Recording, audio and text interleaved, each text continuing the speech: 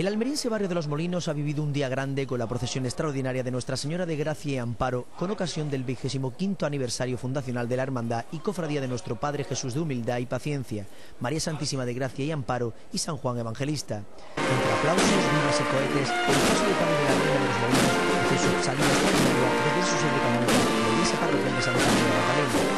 Una vez en la calle, el Ayuntamiento de Almería y en su nombre el concejal y primer teniente de alcalde Ramón Fernández Pacheco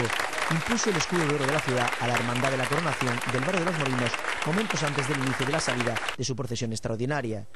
La concesión del escudo supone el reconocimiento a las personas que desinteresadamente realizan su labor en la hermandad, como así ha transmitido Fernández Pacheco al hermano mayor, Roberto Vicente Vidal, y a los cientos de molineros que se congregaron para tan importante evento. La ciudad de Almería y su ayuntamiento, el ayuntamiento de Almería, hemos querido rendir homenaje a una de las cofradías más importantes de nuestra ciudad, la Hermandad de Coronación, que cumple 25 años, y lo hemos querido hacer de la manera más solemne posible, con la imposición del escudo de oro a su Virgen. Creo que es un reconocimiento más que merecido a una hermandad que, como digo, lleva 25 años procesionando por las calles de Almería, y no solo eso, sino haciendo una muy buena labor en este barrio, el barrio de los Molinos. Así que